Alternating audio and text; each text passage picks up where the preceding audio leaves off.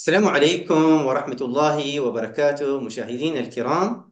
وصلنا اليوم إلى الحلقة العاشرة من سلسلة أمراض اجتماعية ومع ضيفنا الأستاذ محمد عبد العزيز المهتم بإدارة المعرفة للأشخاص. في الحلقة السابقة حقيقة توسع ضيفنا في موضوع آه، العلاقات أمراض العلاقات الإنسانية في موضوع المجال التداولي واختلافه بين الجانب الاجتماعي والاقتصادي والقضائي والسياسي. والحلقة جدا كانت شيقة وثرية وحقيقة أدعوكم للاستماع لها. واليوم نكمل بقية أمراض العلاقات الإنسانية العامة. آه، معنا آه، مرضين. آه، هما مرض العلاقات المسمومة ومبررات استمرارها. والمرض الثاني المصلحة النفسية جزء من الصداقة. ربما تبدو هذه العناوين مبهمة ولكن يفصل لنا الأستاذ بإذن الله تعالى ولكن بداية نرحب به. حياك الله أستاذ محمد نورتنا وشرفتنا.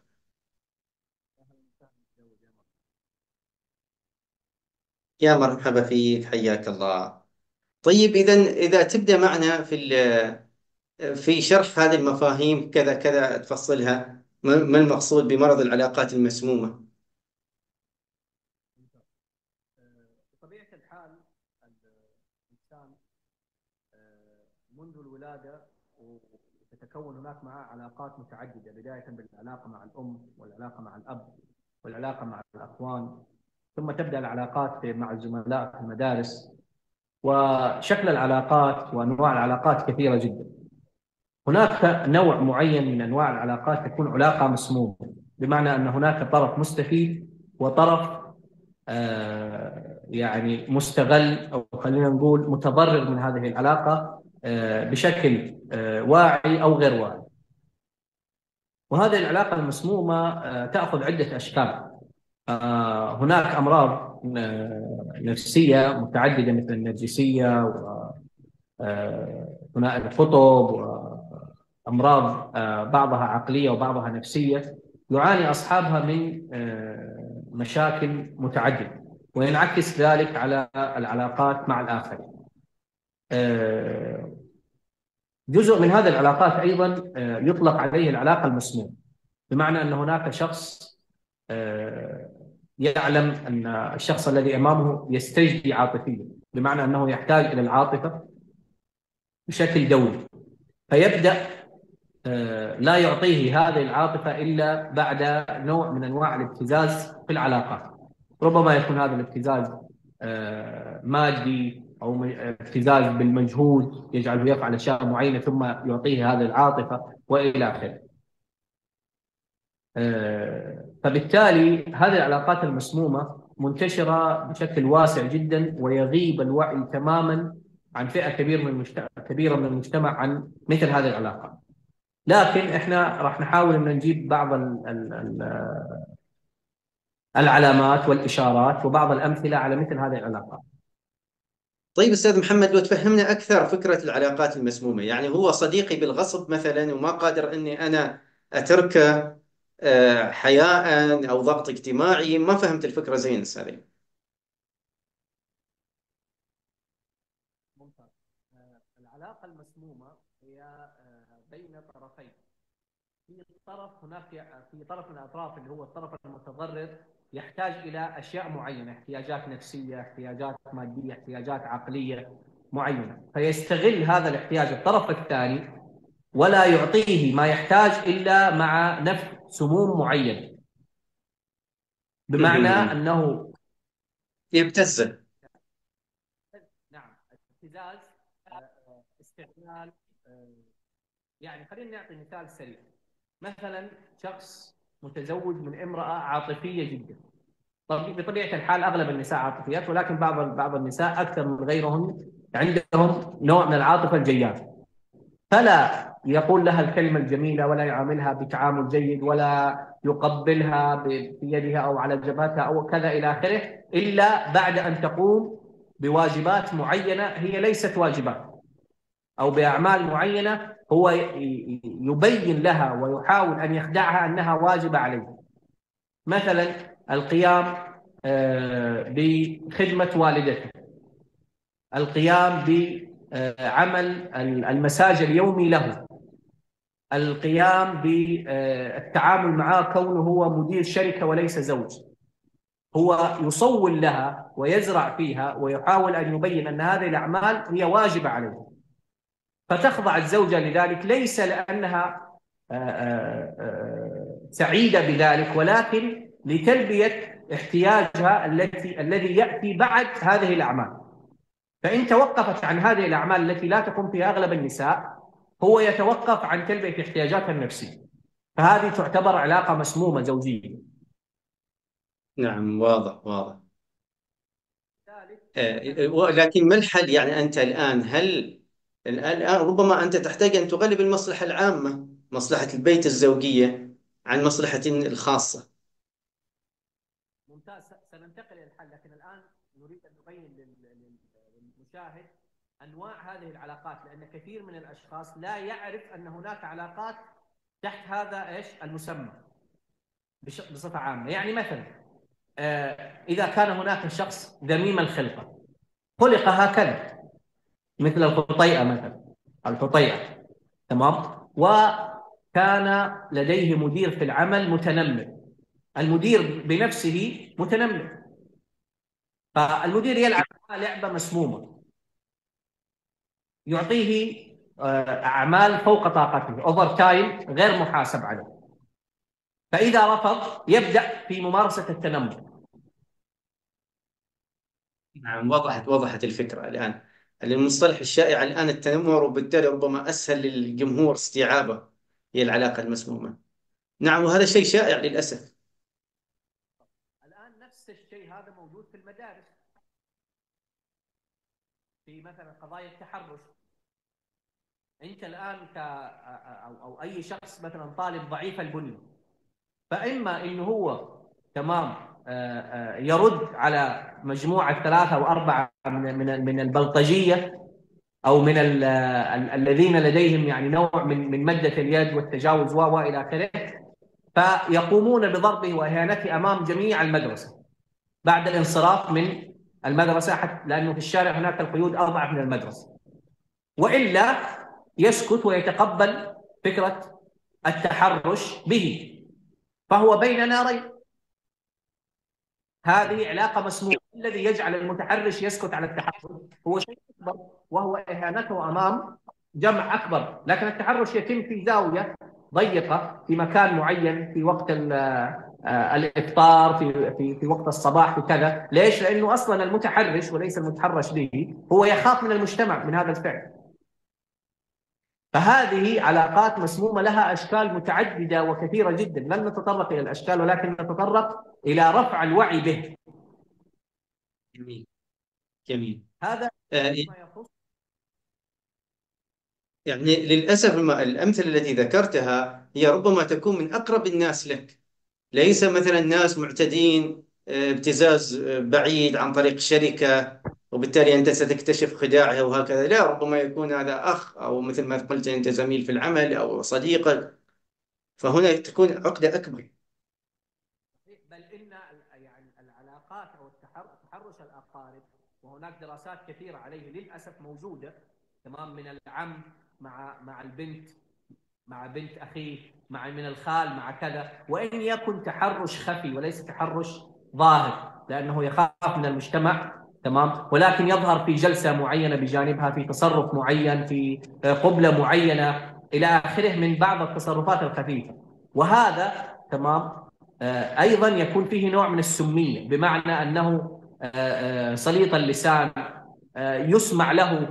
إذا إذا إذا إذا كلم هذا العم الأب كلام معين سيتم التضييق على البنت في الخروج مع صحباتها تضييق مع الابن في في في, في الرجوع للبيت مبكرا أو متاخرا وهكذا من هذه الإشكاليات الضخمة التي لا يتحدث عنها في الغالب لكونها محرجة. ولكن نحن هنا في في في في, في هذا البودكاست نحتاج أو نحاول أن نرفع وعي الأشخاص بأن هذه العلاقة غير سوية. وأن هذه أي علاقة لا يكون فيها نوع من المساواة بين الفائدة أو نوع من المساواة في الفائدة بين الأطراف هي علاقة مسمومة، يعني على أول علامة من علامات العلاقة المسمومة أنه, أنه يكون هناك طرف مستفيد بشكل كبير وطرف مستفيد بشكل بسيط. هذه أدنى إشارة. جميل. الإشارة الأخرى في العلاقات المسمومة أن الأطراف لا يريدون لأحد الاطلاع على تفاصيل العلاقة باستثناء العلاقة الزوجية كونها علاقة فيها نوع من الخصوصية. بمعنى إذا كان هناك علاقة بين أخ كبير وأخ صغير وهذه العلاقة مخفية عن الأسرة هذه علامة على أن هناك يمكن أن يكون العلاقة مسمومة يمكن أن تكون هذه العلاقة مسمومة. لأن سبب الخفاء هو خوف أحد الأطراف من ظهوره سواء كان من يلقي السم أو من يتلقى السم. واضح. أيضا من علامات العلاقة المسمومة أن الشخص أن أحد الأطراف يحاول أن يعزل الطرف الآخر عن العلاقات الاجتماعية وهذه يمارسها الأشخاص النرجسيين آه، لا يريد له أن يتعامل مع غيره حتى لا يجد حسن علاقة أخرى تجعله يكشف سوء العلاقة الحالية. هناك أزواج نرجسيين هناك آباء نرجسيين هناك أمهات نرجسيات ربما يذهب إلى غيره فبالتالي يحدث عما يجري بينهم فهو بالتالي يتعمد أن يعزله بحيث لا يعني يكتم الأسرار. حتى اللي أنت ذكرته هذا بعيد لكن الأقرب أنه يتعامل معه بطريقة طبيعية فيشعر أن الطرف الآخر يتعامل معه بطريقة غير طبيعية لأن العقل يقارن. العقل بطبيعته يقارن بين العلاقات بدون بدون بدون مجهود كبير من الشخص نفسه. فإذا تعامل هذا الشخص مثلا لو هناك مثلا زوج نرجسي مع امرأة يتعامل معها مدى الحياة بطريقة فيها نوع من السميه فعندما تتعامل الامرأة مع أخوها أو خالها أو عمها أو والدها بطريقة طبيعية تشعر بسوء تعامل زوجها معها. فهو يريد ان أن يبني الحصون والأسوار بينها وبين جميع البشر ويستفرد بها. نعم واو. مثل هذه العلاقات يكون الشخص الذي يتلقى السم أو الضحيه يكون آه، يعني غالبا الشخصية المسمومة تلبي رغبات آه، آه، بشكل مبالغ فيه أيضا وهذه إشارة أخرى بشكل مبالغ فيه لمين؟ للشخص الذي تلقي عليه سمومه، ليش؟ لكي يكون وقود لكي يصبر على هذه السموم. يعني نقدر نقول علاقة فيها أمر غير طبيعي العلاقة فيها أمر غير طبيعي يظهر في عدة تمظهرات ذكرنا بعضها. الآن يعني أتوقع أنه ذكرنا أمثلة كافية نوعا ما. ننتقل إلى مسألة ما هو الحل؟ نعم. آه، هنا عندما نتحدث عن ما هو الحل هل الشخص كيف ينقذ نفسه؟ أو آه، كتربويين أو كأب يلاحظ بين إخوانه أو المدرسة. هنا سندخل في عدة جوانب. حتى في المؤسسة القانونية في العمل كيف يحل المدير المشكلة بين الموظفين. فهو الجانب جدا واسع. طيب، الآن إحنا إحنا بنتكلم في مرض في العلاقات فالزاوية المهمة عندنا هو الشخص الذي يتلقى السم هو الشخص الضحية. سنأتي بالحلول من جهة الشخص الذي يتلقى هذه العلاقات السيئة. أول نقطة إحنا الوعي بها الوعي أيوة. بالمشكلة. ثم الاعتراف بالمشكلة يعني أول شيء هو يحاول إنه هو يقرأ العلاقات المسمومة فإذا وجد ما يتشابه مع ما يقوم به معه هذا الطرف يبدأ يحدد أن هذه هي المشكلة. ثم التواصل مع مختص للتأكد من التشخيص. حتى لا يتم العلاج تشخيص خاطئ. يعني بعد ذلك سيقوم المختص بالتشخيص ولكن المختص لن يعالج الموضوع. المختص أقصى ما يمكن أن يقوم به هو التوجيه والإرشاد إلى استراتيجيات معينة للتعامل مع هذه العلاقه. فمن العلاقات ما يحتاج إلى المواجهة ومن العلاقات ما يحتاج إلى المسايسة ومن العلاقات ما يحتاج إلى تحييد العلاقة. فالحلول ليست واحدة. يعني مثلا زوجة لديها زوج نرجسي ولديها خمسة من الأبناء وجميعهم بنات وفي سن خطير في سن 10 إلى 15 أو 18 سنة. هذه يجب أن تتعامل مع الموضوع بشكل يعني آه، حذر لأن هناك مستقبل خمسة من البنات سيكون في خطر في حال تفكك الأسرة. ربما أنها لم تعي ذلك إلا متأخرا بعد أكثر من 20 سنة زواج. فهذه حالة التعامل معها يختلف عن حالة رجل وامرأة تزوجوا من سنة أو سنة ونصف واكتشفت المرأة الواعية من الجيل الجديد أن زوجها كذا. فالفرق بين إن كان نفس المرض مثلا النرجسي أو آه، السيكوباتي أو آه، ثنائي القطب أو آه، شخص مثلا لديه داء العظمة أو أو إلى آخره من الأمراض المتعددة. شخص لديه نوع من السادية. هذه السادية هو انحراف جنسي لكن أحيانا يتحول إلى انحراف آه، نفسي. تمام؟ يحاول أن يهين ويسعد بإهانة الأطراف الذين يحيطون به. وهكذا. فمثل هذه الأشياء موجودة وحاضرة. السكوت عنها يضر بالشخص الضحية. أما التكلم فيها ونشرها ويعني لو أي شخص مثلا الآن كتب العلاقات المسمومة. في اليوتيوب في جوجل في الذكاء الاصطناعي سيجد محتوى ضخم جدا. يستطيع أن يقيس العلاقات التي تحيط به هل فيها من هذا الشيء أو لا. طبعا هنا ملاحظة بسيطة أنه جميع الأمور المذكورة في العلاقات في العلاقات المسمومة هي موجودة في العلاقات الطبيعية ولكن بنسبة ضئيلة جدا. بمعنى أن الإنسان الذي لديه نوع من المبالغة يجب أن يحذر من ذلك. لا ينظر إلى العلاقات كونها جميعها مسمومة.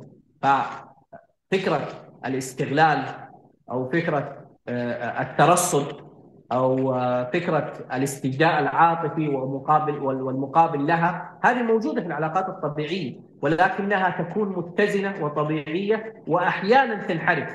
فالانحراف البسيط هذا لا يسمى علاقة مسمومة.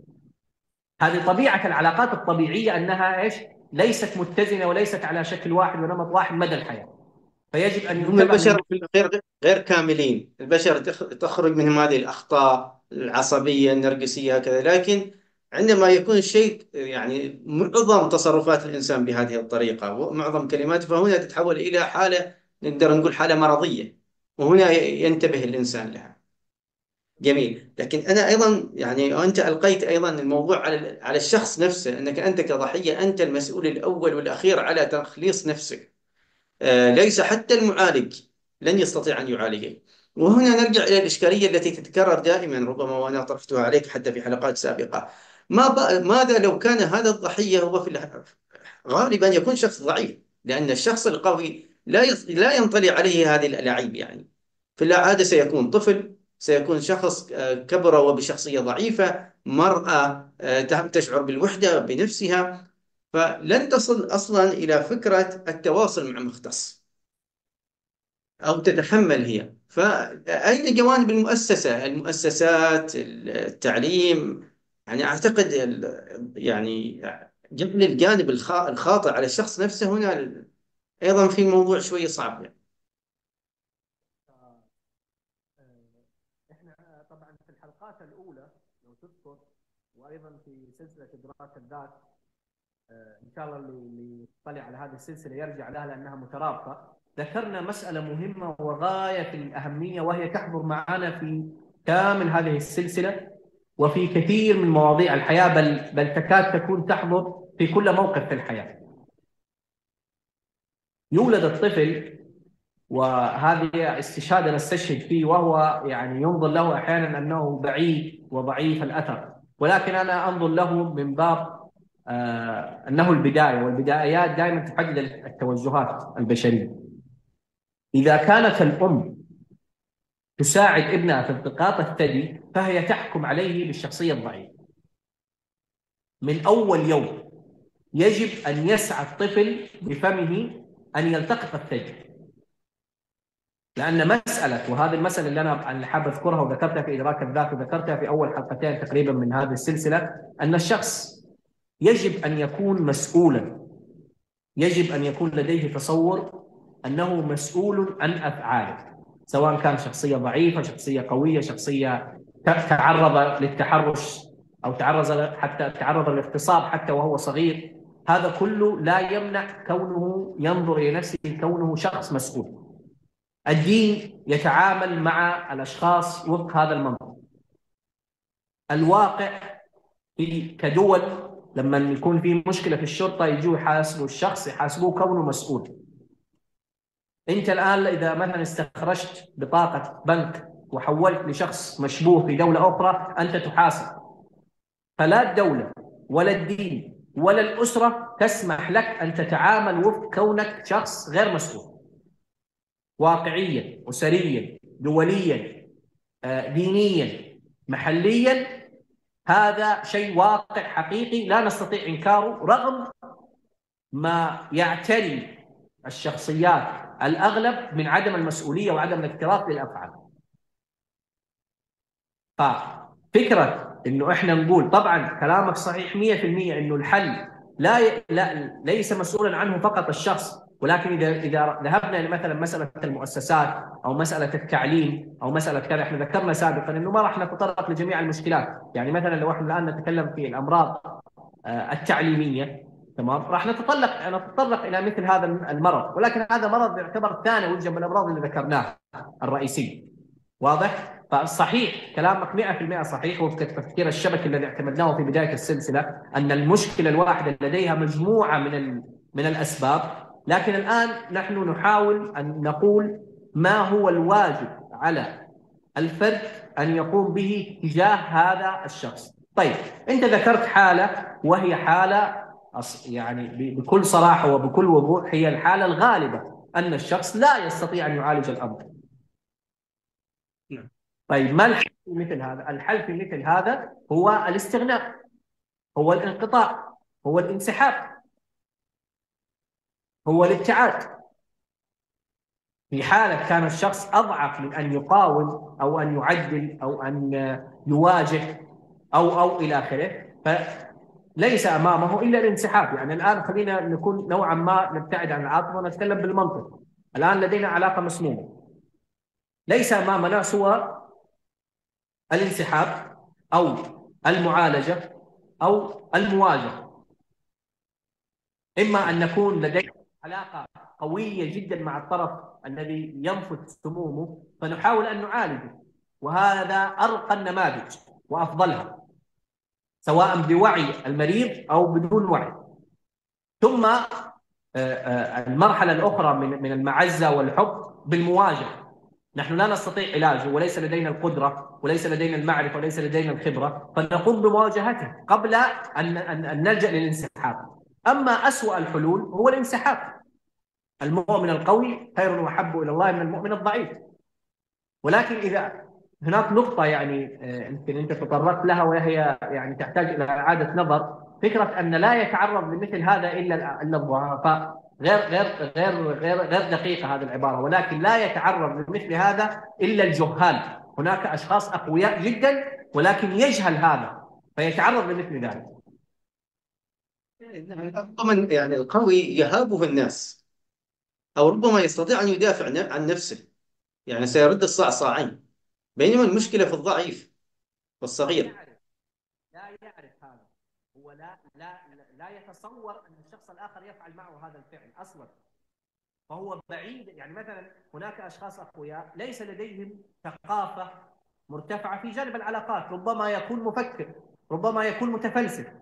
ربما يكون آه، مهندس ربما يكون دكتور في الجامعة ولكن مجاله فيزياء مجاله آه، رياضة مجاله فلسفة مجاله آه، مثلا هندسة روبوتات لكنه في جانب العلاقات هو ضعيف في جانب العلاقات لكنه شخص قوي شخص لديه كاريزما شخص لديه منصب ربما يكون أمير ربما يكون وزير هي غير مرتبطة بالقوة والضعف مرتبطة بالجهل والمعرفة. نعم. جميل. هذا المرض يغزو المجتمعات المتخلفة. لماذا؟ نحن الآن سنحاول أن يعني ندخل على المشاكل الفردية اللي انتهينا منها ولكن سريعا لأجل كيف أصبح أصلا هذا الشخص مسموم؟ هذا الشخص أصبح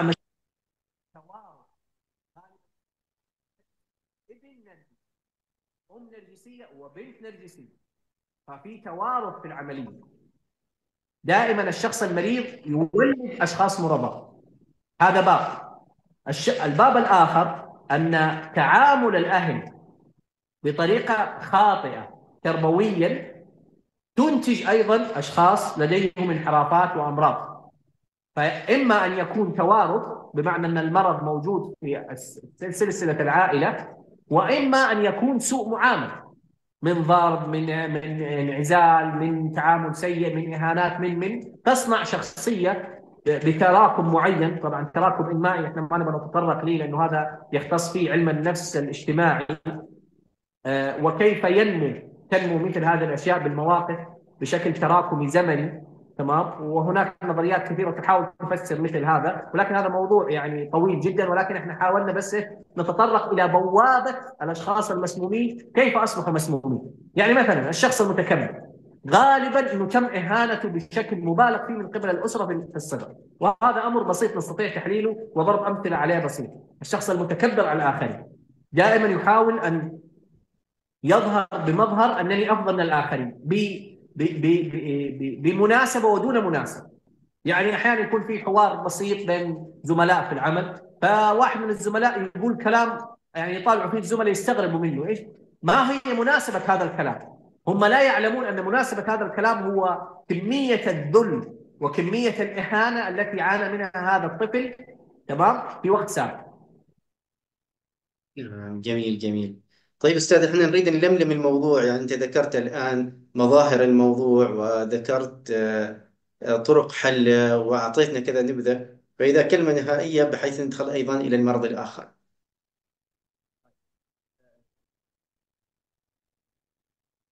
يجب ان يركز الجميع في علاقاته التي تلبي احتياجاته النفسية وينظر في هذه العلاقات هل فيها إشارات ودلالات من العلاقات المسمومة والإشارات التي ذكرتها وأيضا التي سيسمع لها إذا حب أن يتوسع في آه، الفضاء الإلكتروني.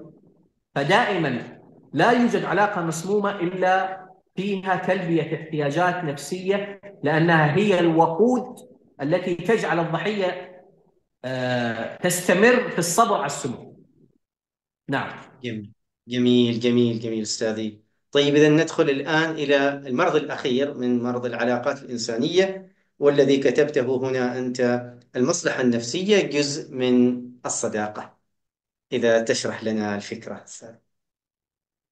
طبعا ذكرنا سابقا موضوع آه، النفسية وقلنا لما نقول كلمة نفسية نذكر بها أو نقصد بها العلاقات المتداخلة بين الأنظمة الأربعة ونذكر فيها سريعا الروحية النظام الروحي والنظام العقلي والنظام القيمي والنظام المادي. فالتداخل بين هذه الأنظمة في أشياء معينة يسمى نفسي يسمى أمر نفسي. نعم. واضح؟ طيب.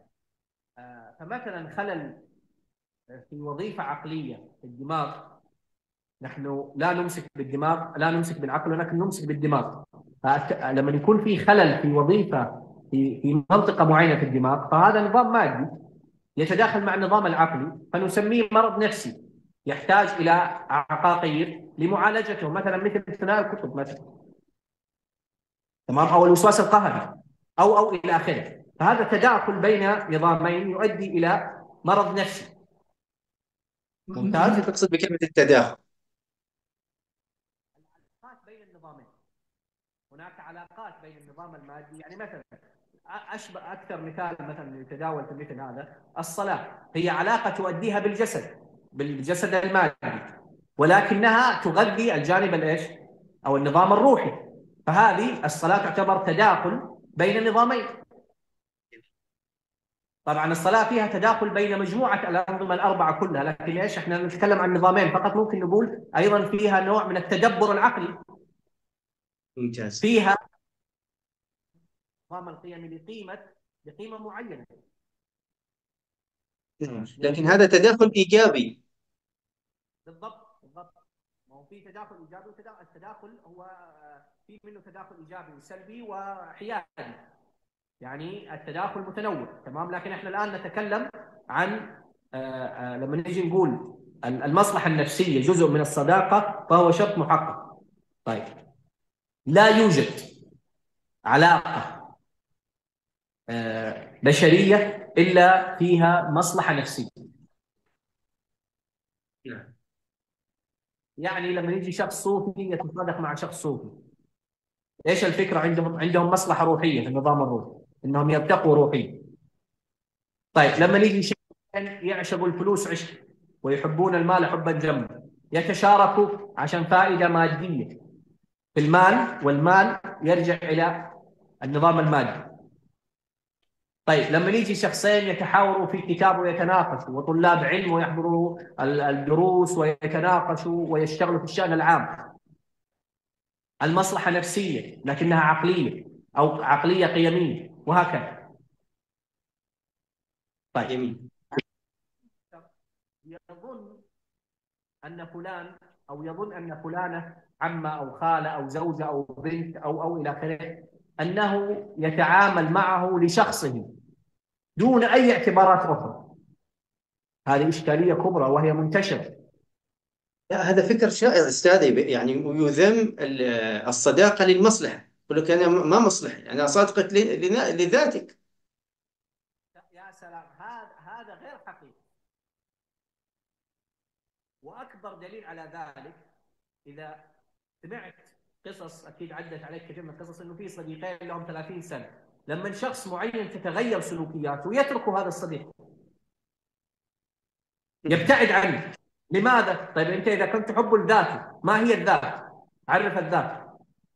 تعال أنت أنت تقول لي هذا إيش هي الذات هذا اللي أنت اللي أنت صادقته عليه؟ هي مصلحة نفسية، مصلحة في قيم متشاركة، في أفكار متشاركة، في آه، أشياء مادية متشاركة، يعني مثلا الآن الشخص اللي مثلا يقيم علاقات غير شرعية. ما راح يتصادق على إمام مسجد. يروح يتصادق على شخص مثله. ليش؟ مصلحة نفسية. هو يأتي على البال المصلحة أنها المادية. فربما هي المصلحة المذمومة هي المادية بينما النفسية أكيد أن كل حد يبحث على الذي يتوافق معه. طبيعة الحال. لكن الآن في إشكالية. أنت تقول أكيد أنه يبحث عن اللي يتوافق معه لكن في نقطة مهمة. هل ينظر الناس على إنه العلاقات مبنية على مثل هذا؟ إحنا الحين قاعدين نتكلم إنه هذا مرض في العلاقات العامة يعني المرض معناه إنه في خلل متراكم، إيش هو الخلل المتراكم؟ تظن الزوجة أن الزوج يحب يعني يحبها ويعشقها لذاتها. صحيح نحن في التربية نحاول إن إحنا نفصل ما بين الشخص وما بين سلوكيات الشخص وهذا صحيح من ناحية تربوية لكن من الناحية العملية العلاقات هي شيء عملي وليس نظري من الناحية العملية وهنا يأتي نقطة مهمة إنه إحنا لابد أن نفرق بين العملي والنظري لابد أن نعرف أن العملي والنظري لا ينفصلان ولكنهما ليس شيء ليس ليس شيئا واحدا. بمعنى أن منطق العملي ليس هو منطق النظري ومع ذلك المنطقين المختلفين مترابطان. جميل. جميل ممتاز طيب اعطنا مظاهر هكذا. من ال يعتقد الزوج الزوجة أنه تحبه لذاته فيتغير للأحسن أو للأسوأ ثم يتم الانفصال. لأنه ظن أن الزوجة تحبه لذاته وليس لمجموعة القيم من خوف الله والتفكير الجيد والتخطيط الجيد.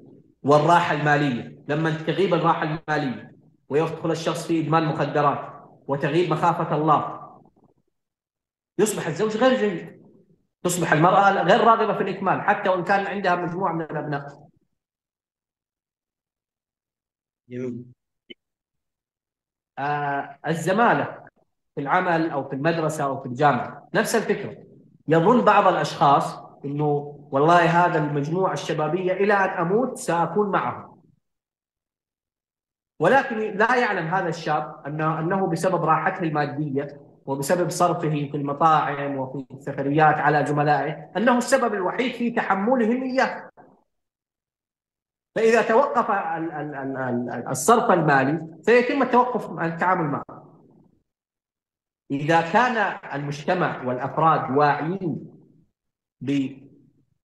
بالرابط النفسي بين بينهم في العلاقات سيكون هناك علاقات أعمق وأنجح وأدوم. كيف تكون أعمق؟ أعمق إنه أنا عارف إنه أبو داوود بيتعامل معايا للأسباب الفلانية وأبو داوود عارف إني أنا قاعد أتعامل معاه للأسباب الفلانية نعزز منها نبتعد عن النقاط الاختلاف نعمل في المشتركات نعمق العلاقة. جميل. إذا غابت عني وعنك ربما انك انت مثلا الآن تتعامل معايا معرفيا إذا تعاملت معايا مثلا ماديا أو اجتماعيا تجدني شخص سيء.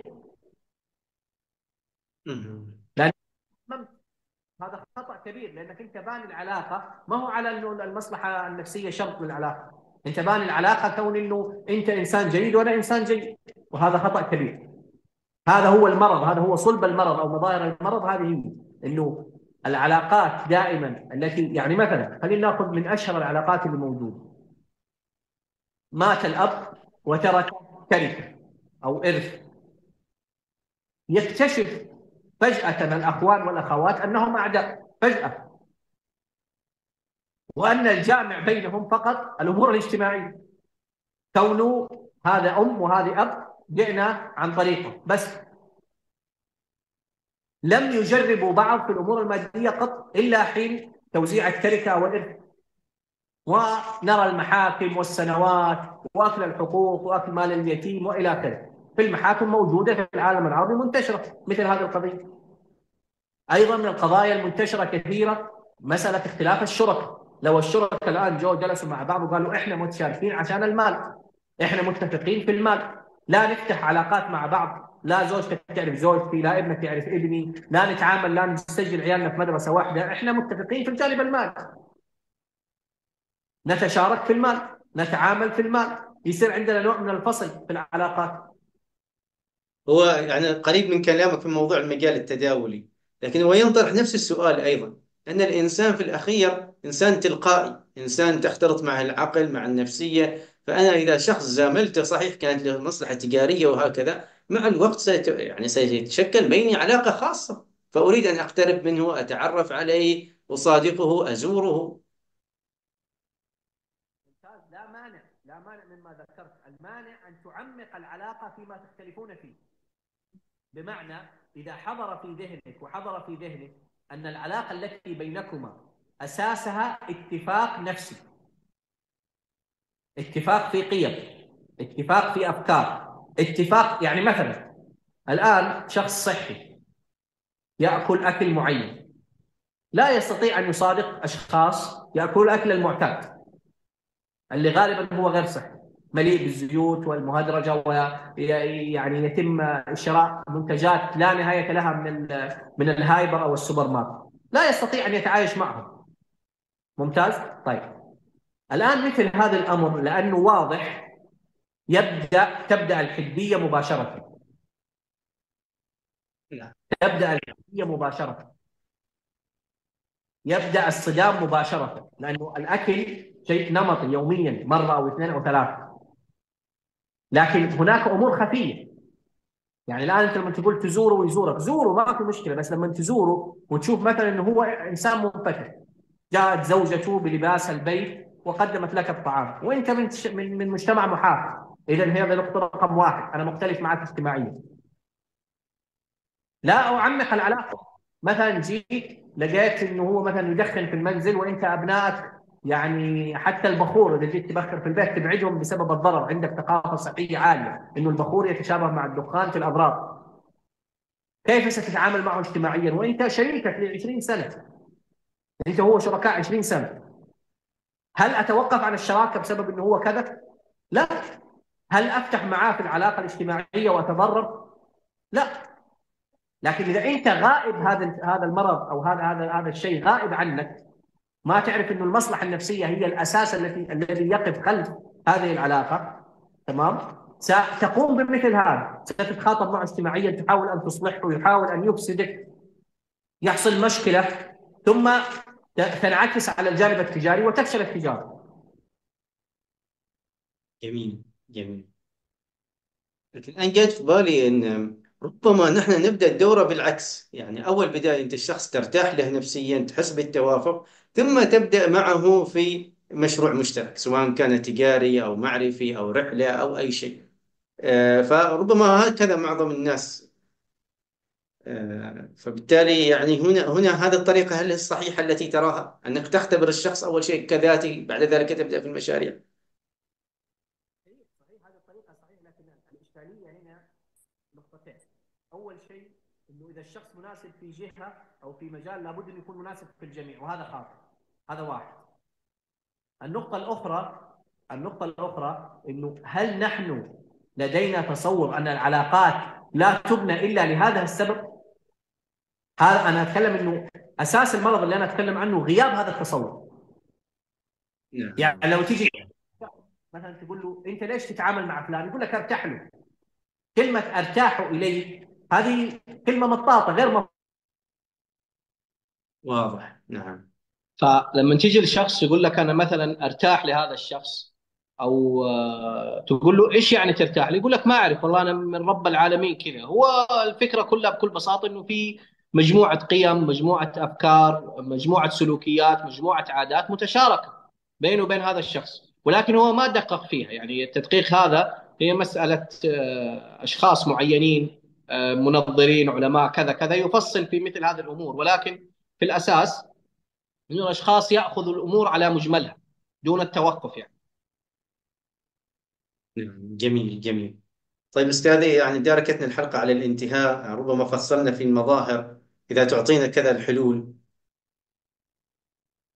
ممتاز. أول آه، نقطة في الحلول إنه آه، الشخص يكون واعي إنه شروط أي علاقة إنسانية هو وجود هو وجود مصلحة نفسية أيا تكن هذه المصلحة.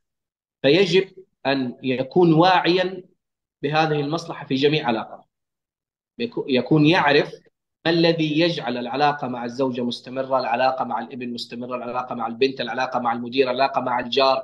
إلى آخره. يعرف السبب. بعد ذلك يحتاج إلى تعزيز هذه المساحة المشتركة وعدم تعميق وعدم التوسع في المساحات المختلفة. لأنه إذا الإنسان كان لديه متوسط من خمسة إلى 15 علاقة كثيفة في حياته وكانت هذه العلاقات فيها إيجابية أكثر من السلبية سيعيش بسلام داخلي سيعيش بصحة نفسية جيدة سيقل نفاقه. وهذه مشكلة كبيرة عندنا في في في ولكن النفاق هذا نتائج لهذه الأمراض. النفاق ليس هو أصل النفاق هو نتيجة لأمراض تسبقه. فالنفاق يأتي حينما لا تكون العلاقة آه، آه، معلومة المصالح النفسية. فبالتالي يجب عليه أن يبتعد عن الأمور المختلف فيها. طبعا إحنا ذكرنا سابقا في الموضوع حق العلاقة الزوج بزوجته تمام إنه في ثلاثة مناطق في مناطق يتفق عليها وفي مناطق متنازع عليها وفي مناطق يمكن الاتفاق عليها. في العلاقات الزوجية بالذات علاقة الأب مع ابنه الأم مع بنتها الابن مع أمه هذه هذه الأشياء ما تأخذ نفس الطابع العام في العلاقات بمعنى إنه إحنا نركز على المشتركات ونبتعد عن الاختلافات. ولكن تأخذ نعزز المشتركات ونتعايش مع الاختلافات لأن الأم واحدة الزوجة واحدة الأب واحد وهكذا. فهناك يعني نوع من الخصوصية لبعض العلاقات المخصوصة أجل لأجل لا يكون كلامنا يعني مختلط بين العلاقات العامة والعلاقات المخصوصة، العلاقات المخصوصة فيها نوع من التنازل من الطرفين. حتى لو كانت المصلحة النفسية يعني ما هي حاضرة بقوة. هي حتكون حاضرة 100% لكن لو ما هي حاضرة بقوة يجب أن يتنازل الطرف ال ال ال ال خلينا نقول على حسب الحاله يعني مثلا إذا كانت العلاقة بين الإبن والأم يجب أن يتنازل الإبن. إذا كانت العلاقة بين الأب والبنت يجب أن تتنازل البنت. إذا كانت العلاقة بين الزوجين يجب أن يتنازل كلا الزوجين. ليش يتنازلوا عن ماذا؟ يتنازلوا عن النقاط المختلف فيها. ويعززوا من المشتركات. كلما تم تعزيز المشتركات في العلاقات التي تم كشفها سابقا أنها أن العلاقة مبنية في الأساس على كذا ويتم التكلم فيها من الطرفين بشكل واضح و... و... وعلني.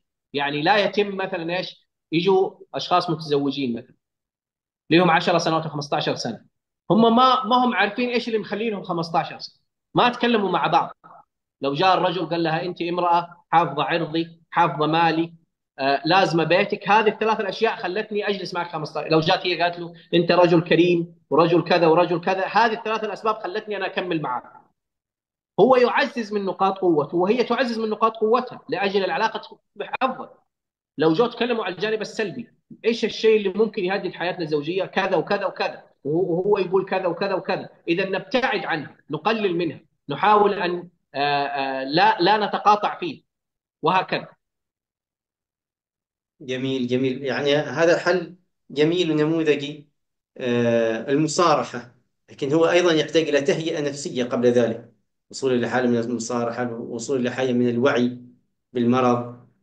هي تهيئة الشخص أيضا. صحيح بس إحنا الآن لو لو تلاحظ إحنا في, في الأول تكلمنا عن العلاقات المسمومة. في الأخير إحنا قاعدين العلاقات الطبيعية. ولكن العلاقات الطبيعية اللي فيها جهل. جهل بطبيعه فنفرق بين الاثنين. إحنا ما نبغى مصارحة في العلاقات المسمومة. في الغالب يكون الضرر أكبر. لأنه من يلقي السم حينما يعرف أن الشخص الذي الضحية يعرف ما يفعل يعني يزداد غضبا ويبدأ يعني ترتفع عنده وتيرة الخداع والاستراتيجيات ويبدأ يمارس أفعال اسوء نعم نعم واضح واضح أستاذي جميل. والله يعني أنت اليوم الحلقة على الجرح أنا أسميها. لو من يعني صعوبة هذه الأمراض أن الشخص لا لا يكتم بها لا يحدث بها غيره يكتمها في نفسه. ربما لماذا؟ لأن الضغط الاجتماعي العادات والتقاليد خوفا من أن تسوء السمعة هكذا. فأن يكون الحديث حول هذا الموضوع في مناطق حرجة حقيقة نحن نحتاجها والوعي نحتاجه ويعني المواجهة أو مثل ما قلت أنت التحييد أفكار جدا جميلة. شكرا لك أستاذ محمد. وأنا أعتقد أن فكرة الأمراض العلاقات الاجتماعية كثيرة ولن تنتهي ولكن أنت برست كذا ثلاث أشياء علنا لملمنا عليها على السريع. وإن شاء الله ننتقل إلى جانب آخر إن شاء الله في الحلقة القادمة. إلى ذلك الحين مشاهدينا الكرام كونوا في أمان في أمان الله والسلام عليكم ورحمة الله وبركاته.